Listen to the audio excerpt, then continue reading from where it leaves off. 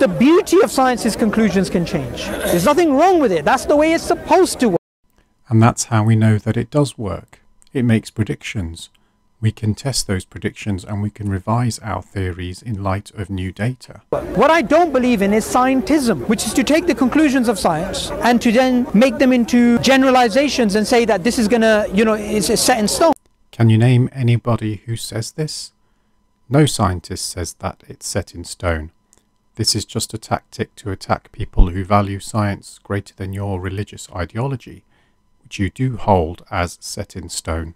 And philosophers of science understand this. They understand that all science can do is give you workable models, and just because something works, it doesn't mean it's. If it works, then it is true in a scientific sense. There is no such thing as truth in an absolute sense true. For example, a philosopher of science in uh, Texas, Larry Laudan, he put together a philosophical paper of 30 empirically successful theories, which were giving you predictions which were confirmed again and again and again and again, which then turned out to be false. It is important to note that Laudan's lists was not randomly selected, but rather was cherry picked in order to argue against a thesis of scientific realism. Laudan's list was not a representative sample of scientific theories, as all entries on that list were theories that were abandoned more than a hundred years ago during the time of the first 5% of all scientific work ever done by scientists. There is no graveyard of dead scientific theories. I will link this paper in the description. What alternatives are you aware of to Darwinian evolution? Well, I'm aware of like creationism and other religious. There you go. Yeah, there you go. Yeah, yeah. Forget that for now. What naturalistic alternatives are you aware of? I'd like to hear from them. Okay. And all of these were put together by evolutionary biologists who are atheists. They don't believe in intelligent design. They don't believe in creationism. They don't believe in anything like that. And they've taken the same data and they've come up with a different interpretation. Evolution by natural genetic engineering, put together by James Shapiro. Neo-Lamarckian evolution, which is put together by Eva Jablonka.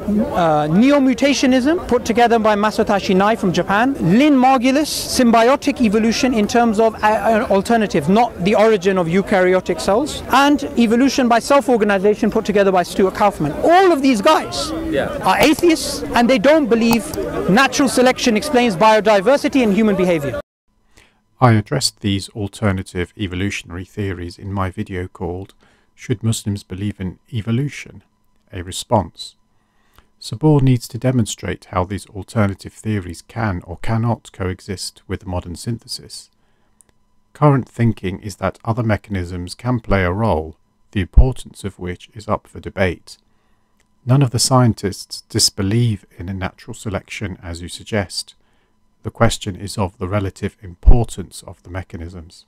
My conclusion is this is something not set in stone. Nobody ever said it was set in stone.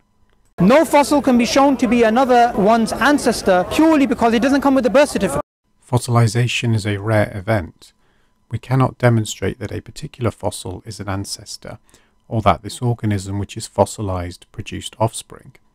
What we do know is that, if there is one fossil of a creature, then living at that same time must be many others of the same species and likely similar species.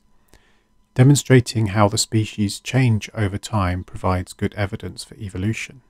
The senior editor of Nature, Henry Gee, who's an atheist and a paleontologist, he says to take a line of fossils and to claim ancestry is not a scientific hypothesis which can be tested, but a bedtime story. And he says it's impossible to link one thing to another in terms of fossils. Of course, Subboor has to try and put in a quote to help his position.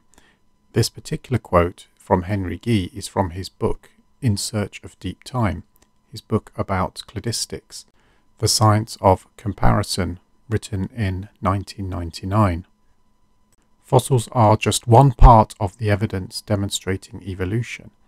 To dismiss this line of evidence, you need to come up with a better explanation for the change in appearance of creatures over time. I believe human beings came as they were. Where is your evidence for that statement? Can you explain why humans are absent from the earlier fossil records.